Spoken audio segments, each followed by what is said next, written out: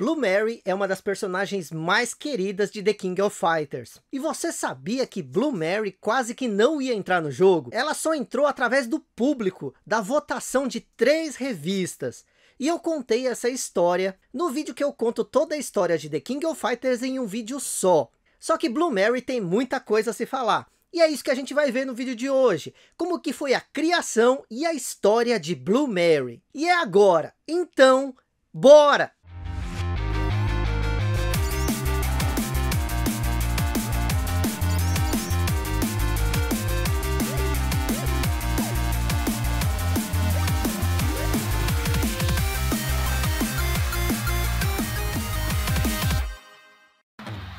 A estreia em Fatal Fury.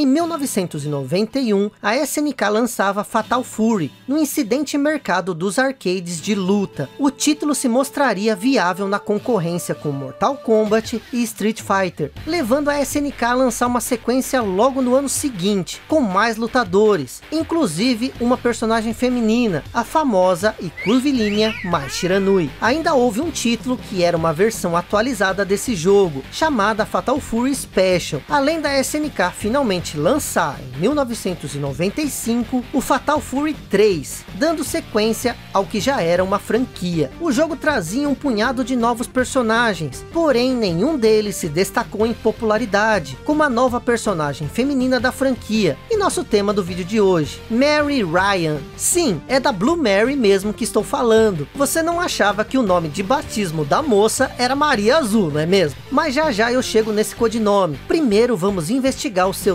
desenvolvimento. Os produtores queriam uma personagem feminina e foram novamente buscar inspiração em Dragon Ball. Digo novamente, pois os personagens Tong Fu Hui e Jin Chorei lembram bastante o Mestre Kami e o Vegeta do mangá de Akira Toriyama, apesar dos desenvolvedores nunca terem admitido publicamente a influência. Porém, no caso de Mary foi diferente. Segundo uma edição da revista Neo Geo Freak, a inspiração visual para a personagem foi mesmo Android 18, do mangá Dragon Ball. O que parece até óbvio, depois que a gente já sabe, né? Para o seu estilo de luta, foi escolhida uma arte marcial que é uma das mais populares, o Sambo, que é uma sigla para algo que em russo significa autodefesa sem armas. Essa arte marcial foi desenvolvida no início do século 20, na antiga União Soviética, e emprega características de wrestling, judô, luta livre e várias outras artes marciais, envolvendo agarramentos, golpes traumáticos com socos e chutes e algumas modalidades. Não seria a primeira nem a única vez que essa luta apareceria nos games. O grandalhão Zangief de Street Fighter tinha alguns de seus movimentos inspirados nessa arte marcial, além de Cyrax de Mortal Kombat e futuramente Abel de Street Fighter 4 e Sergei Dragunov na série Tekken. Porém, no caso de Fatal Fury 3, incluir uma personagem lutadora de Sambo implicaria algumas dificuldades na produção. Criar com realismo os agarrões nas animações de sprite de Mary foi custoso custoso para a tecnologia da época. Na verdade, a equipe de desenvolvedores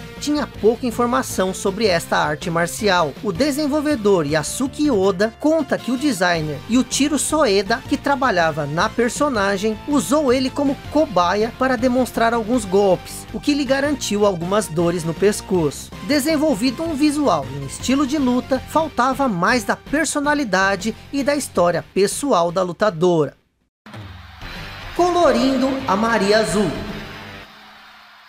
Mary Ryan nasceu nos Estados Unidos em 4 de fevereiro de 1973, numa família envolvida com artes marciais. Ela era neta de Tatsumi Suo, um dos mestres de Gizzy Howard. Ela estava envolvida com o governo e com o serviço secreto americano. Seu pai trabalhava no serviço secreto, enquanto Kevin Ryan, um parente distante, era um oficial da SWAT e apareceria no jogo Garou Mark the Wolves. No meio familiar envolvendo artes marciais, polícia e serviço secreto governamental, não é de se estranhar que esses temas ajudassem a moldar o caráter, as aspirações e as habilidades da jovem. Desde criança, Mary treinava artes marciais, porém uma influência definitiva chegaria na vida da moça, no seu aniversário de 20 anos. Na ocasião, ela foi apresentada a Butch, parceiro do seu pai no serviço secreto. Mary passaria a admirar a competência e comprometimento de Butch com seu serviço. Admiração que logo se transformaria em paixão. Os dois começaram um relacionamento e passaram boa parte do seu tempo livre treinando artes marciais. Foi Butch quem treinou Mary no Sambo e a ajudou a dominar esse estilo de luta, presenteando-lhe ainda com a sua famosa jaqueta de couro. Porém, como já dizia um famoso sketch de humor, a vida é uma caixinha de surpresas. Em breve, Butch e seu parceiro de serviço, o pai de Mary, seriam designados para proteger o presidente do país durante um desfile oficial. Um ataque terrorista ocorreu e ambos acabaram perdendo a vida. Mary, de súbito, se viu completamente sozinha, com exceção do seu fiel companheiro, o cachorro Eton. A perda súbita e a solidão lançaram Mary Ryan numa longa depressão. A moça não sorria e quase não saía de casa, a não ser para afogar as mágoas num drink no famoso Pau Pau Café, em Southtown, enquanto ouviam blues. Foi lá que surgiu seu codinome. Um dos bartenders frequentemente preparava um drink especial para ela. Era um coquetel que a fazia lembrar-se de Butch. E tinha uma característica especial. A bebida era transparente. Porém, se olhada na perspectiva de quem bebe, era um azul misterioso. O bartender batizou a bebida de Blue Mary, associando com a cor melancólica da personagem. E o blues que ela ouvia. Lembrando que essa associação entre azul e a melancolia é tão comum na língua inglesa que a palavra blue pode significar tristeza além do nome da cor. Mas com o tempo Mary foi lidando com as perdas e se tornando apta a voltar a sorrir e retornar à sua vida. Ela decidiu usar suas habilidades para se tornar detetive particular, usando sempre a jaqueta que Butch lhe presenteara e o comprometimento que aprendera dele. Mary tinha índole amigável e animada, mas sempre colocava o serviço antes de tudo. Assim, com sua jaqueta, sua motocicleta e a fiel companhia de seu cachorro Eton, ela partia em busca de serviços usando a alcunha inspirada no Drink, que fora seu companheiro nos momentos de depressão. Blue Mary. É nesse contexto que a personagem se insere no enredo de Fatal Fury 3. Pela primeira vez na franquia, a trama não girava em torno de um The King of Fighters. Uma série à parte surgiu focada no torneio. Começou como crossover de várias franquias da SNK e teve muito sucesso. Assim, deixando para The King of Fighters o torneio de mesmo nome. Fatal Fury 3 tinha que buscar outro tema para seu enredo. Dessa vez a trama girava em torno da busca pelos pergaminhos Jin, antigos artefatos capazes de garantir imortalidade, mas que só poderiam ser reunidos pelo lutador mais forte. Blue Mary, então com 22 anos, foi contratada para investigar rumores sobre artefatos misteriosos em Soundtown que eram esses pergaminhos. Na investigação, Mary acabou cruzando o caminho do lobo voraz de Soundtown, Terry Bogard. Percebendo que ele também estava em busca dos artefatos, Mary decidiu interrogá-lo, o que não ocorreria sem luta. No duelo, Mary percebeu que subestimaram a Terry, e ambos notaram que teriam mais a ganhar trabalhando juntos. Então partilharam as informações que tinham e se dividiram partindo em direções opostas para cobrir mais terreno. Mary acaba descobrindo que dois irmãos chineses, descendentes da dinastia que originalmente produziu os pergaminhos, haviam contratado o criminoso Ryuji Yamazaki para reunir os artefatos. Mary acaba por fim encontrando e derrotando Yamazaki, que contudo consegue fugir. O vilão Gizzy Howard consegue reunir os pergaminhos para descobrir que na verdade eles são apenas pergaminhos comuns, porém devido à lenda em torno deles, se tornariam disputados, a ponto de apenas alguém que se tornasse um guerreiro imbatível pudesse reuni-los. Assim, Gizzy, satisfeito em saber que é o melhor, ordena que seu capanga Billy Kane destrua os artefatos. O final do jogo de estreia de Mary pode ser um anticlímax, porém a personagem cumpriu as expectativas de seus desenvolvedores, se tornando bastante popular, enquanto dentro da história, seu encontro com Terry gerou uma amizade, que a fez se juntar a ele na luta contra Gizzy. Quando o vilão é finalmente derrotado em Realbout Fatal Fury 2, Blue Mary tira merecidas férias, e é vista se bronzeando no seu final. Porém, em breve, a detetive detetive estaria de volta ao seu trabalho.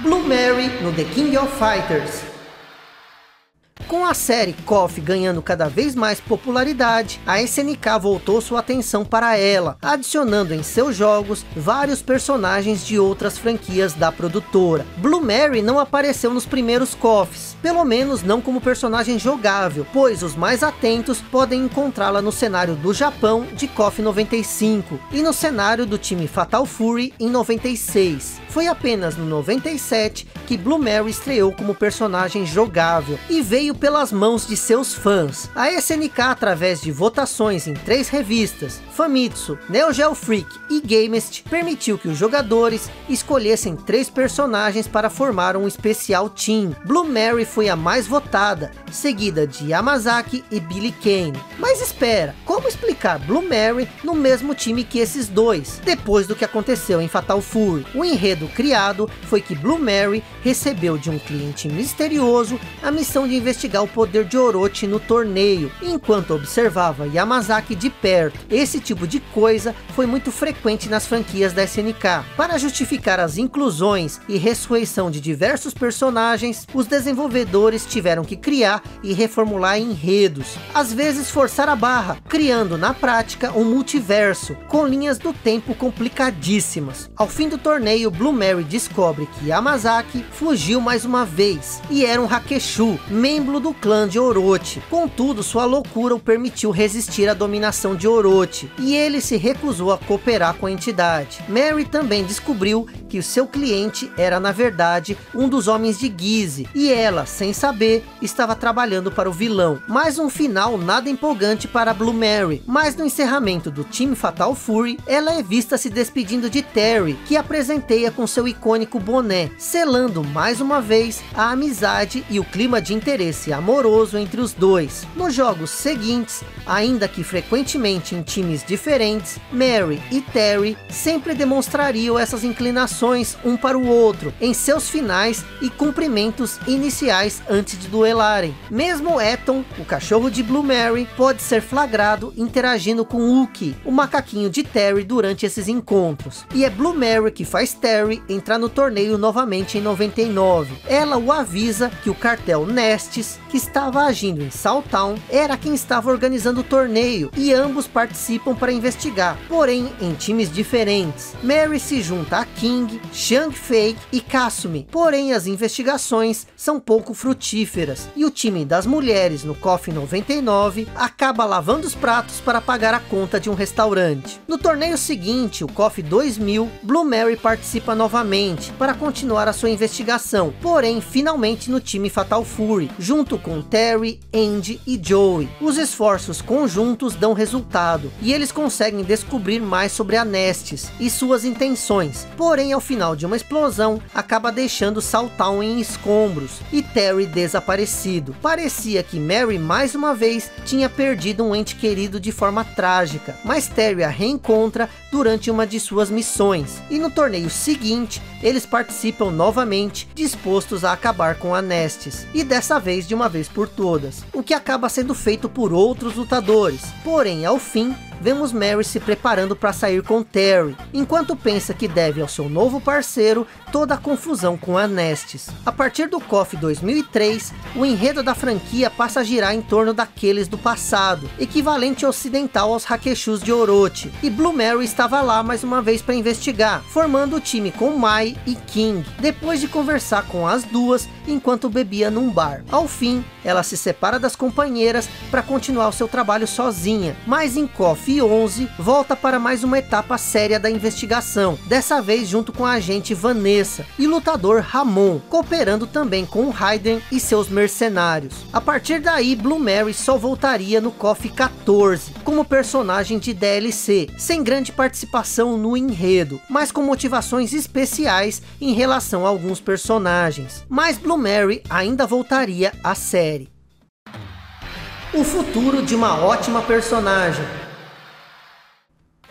Blue Mary é considerada uma ótima personagem em vários aspectos, com jogabilidade muito boa, explorando situações de proximidade, bloqueios e anti-ataque aéreos. O único ponto fraco é a ausência de projéteis, que alcançam um inimigo distante, mas ela compensa com seu movimento Slicer, capaz de lançar inimigos a certa distância. Quem sabe jogar com Blue Mary consegue apelar bastante. Sua aparência e seu estilo são bons de um jeito que dificilmente sai de moda, contando inclusive com várias variações mais extravagantes, como a sua versão alternativa em Coffee Maximum Impact, ou os cabelos mais longos numa ilustração de Garou Mark the Wolves. E Blue Mary ainda guarda segredos, como um lado sombrio que se manifesta na segunda personalidade sádica, que se diverte ao quebrar ossos ou pisotear inimigos. Essa versão perversa foi chamada de EX Blue Mary, numa versão japonesa de Reabout Fatal Fury Special, e é aludida pela personagem em algumas de suas falas em jogos posteriores. Outras curiosidades sobre Blue Mary são seus hobbies e gostos. Apesar de gostar de cachorros, Mary detesta gatos e pessoas relacionadas a eles. E além da grande habilidade com sua motocicleta, Mary ainda é uma boa jogadora de beisebol e cantora. Existe uma canção em que sua dubladora, Harumi Ikoma, dá voz da Blue Mary, cantando ela mesma seu próprio tema, Blue Mary's Blue. A última aparição de Blue Mary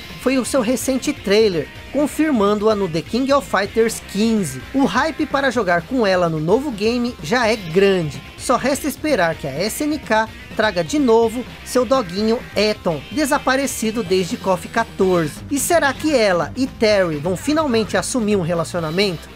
É esperar para ver. Mas eu quero saber de você, qual a sua história com a Blue Mary? E se você quiser ganhar um coração meu, escreve aí nos comentários, Mary Ryan, o nome verdadeiro da Blue Mary. Ah, e não se esquece, me segue no Twitter e no Instagram, arroba Vitorisui. No Twitter a gente pode conversar sobre tudo. E no Instagram eu posto foto de itens que eu ainda não mostrei aqui, além de você saber um pouco mais da minha vida aqui no Japão. Então me segue lá, arroba Vitorisui, no Instagram e no Twitter. Eu sou o Isui, obrigado a você que viu o vídeo até aqui e até mais.